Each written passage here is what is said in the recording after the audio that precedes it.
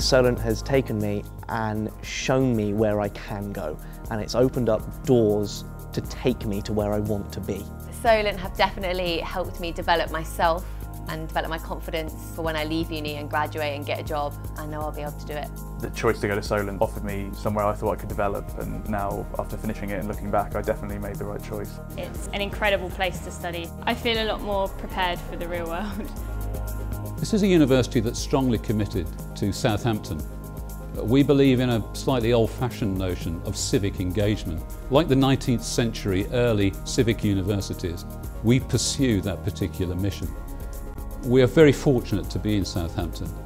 It's one of the most dynamic cities in the UK. It's a major port. It's showing one of the fastest recoveries out of the economic recession. And the university is always willing to act as an honest broker, an anchor institution in turbulent times. We have considerable resources at our disposal and we're willing to share them.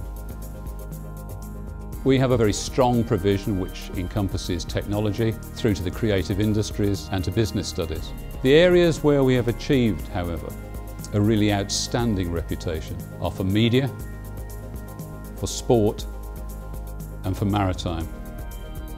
And that's not just me saying that. We have received awards or accreditations in all those three areas. Creative Skillset, for instance, have again renewed their accreditation for us as a centre of excellence. In journalism too, we've achieved national accreditation. The university has invested £2 million in a new centre, a new media academy. That's an absolutely terrific space where students, staff and parents are excited by the juxtaposition of different disciplines in the creative industries and some absolutely top flight facilities. So it's also good to report to you that in the Which University Guide, Southampton Solent University was placed in the category of Top Creative University.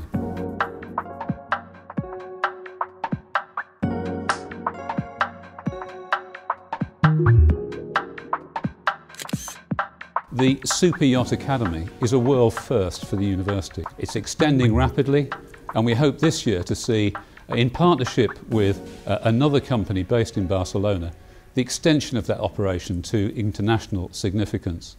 We've also seen the instalment of a ship's full mission simulator, the best in the world, a unique product that is available at Solent University. In the sports area, we've seen again some impressive developments. And again, it's the same theme. The university sharing its resources with partners, making available those resources, the expertise of its staff and students, to reach out to the community, to help other companies, to help other sports organisations develop. The most notable success here has probably been the very productive partnership with Saints Football Club. Now in the Premier League, our sports science staff and students have been working with them to improve fitness over the last four years. It means they're now one of only five or six centres of excellence in the country. Throughout that provision, we have something special. And I'm proud that Solent offers something not only special, but something very distinctive. That distinctiveness is about what I call the signature pedagogy. It means that you have academic excellence, but you have practitioner expertise.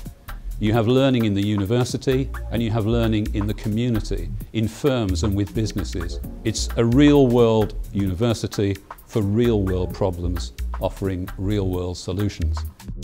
We commissioned an independent research study recently which shows that the university and its students generates over 3,000 jobs in Southampton alone. In terms of added value, £180 million a year. And that's why we're willing to act as an honest broker, trying to bring people together. Because if we can coordinate the activities of different groups, we'll punch above our weight, both as a university and as a city. One of the most exciting and I think satisfying collaborations over the last few years has been our work with the National Health Service. The National Health Service is facing some considerable challenges and to meet those challenges it needs to innovate. Most notably, we've developed a revolutionary foundation degree in healthcare. We developed it in partnership with the University Hospital Trust here in Southampton. It's exciting because it delivers education and training in a new way. It's all very much about what the client needs, what the delegate or student needs, and what the hospitals need to be able to meet the challenge that they're facing. And we are about to extend that idea to the area of social care. And there cannot be a more important challenge facing all of us as we look to the future in terms of how we ensure that the highest standards of social care are available in this country. That means a trained and educated workforce. That's what universities are for and that's what we're doing. We have a commitment to social justice and we like to carry out our commitments in that area. So a notable development over the last year has been the Solent Sharks initiative. The university has formed a wheelchair rugby club. It's open to students, to staff, but it's open to the wider regional community. And we're delighted that the Paralympic star Aaron Phipps has sponsored that and is part of that team. On the science and technology side, again we've seen some important developments this year. I'd pick out in particular the development of our sound and acoustics area. We've invested in a hemi-anechoic chamber this year and you might say, well, that sounds very good for staff and students, but it's actually very good for the community. That facility is being used again in partnership with an outside company to help GPs in terms of their assessment of hearing loss. Again, it's an example of a university that is making its resources available to the wider community. That engine not only for social mobility, but for economic recovery and growth. And looking to the future, I'm sure that the university will continue to go from strength to strength. And part of that project is an investment of over £70 million in the development of our East Park Terrace site. The first new teaching building will be available for students to use in 2015. And I think it marks a new era for the university as it continues to develop as a very important and distinctive university in the diversity which is the strength of the UK British higher education system.